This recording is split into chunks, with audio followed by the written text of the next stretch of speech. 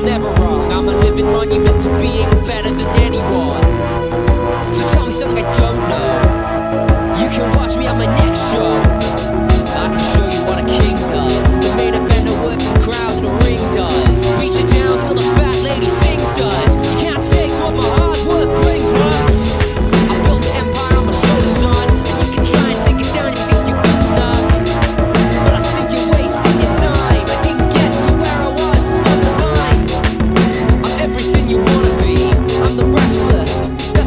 see.